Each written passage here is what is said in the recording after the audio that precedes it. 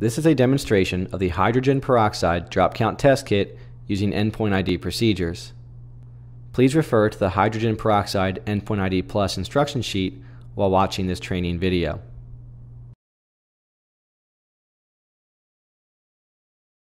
The first step according to the endpoint ID procedure is to gather an accurate sample.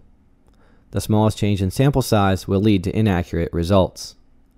Before gathering your sample, it's important to rinse the vial three times with the sample to be tested. This minimizes the chance of contamination from a previous titration. To get an accurate sample size, you want to hold the vial close to eye level. Once you feel you have an accurate sample, place the vial on a level surface and bend down to eye level. When performing a drop count titration, a white background can provide contrast to better see the color changes. A cabinet tray or a white paper towel can provide that contrast.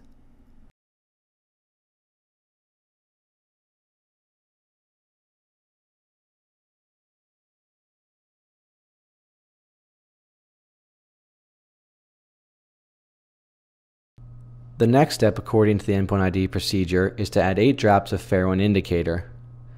The bottle contains a dropper tip, so it's important to hold the bottle vertically to get a consistent drop size.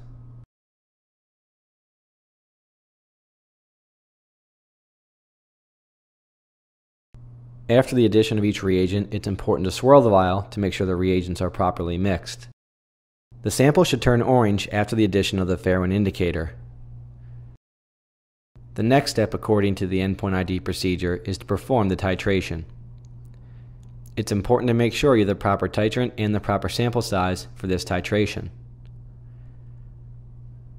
Remember to hold the bottle vertically to make sure you get a consistent drop size.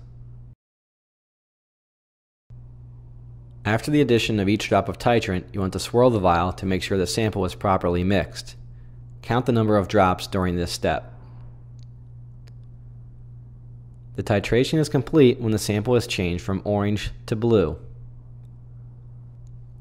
Multiply the number of drops by 50 to obtain the parts per million as hydrogen peroxide.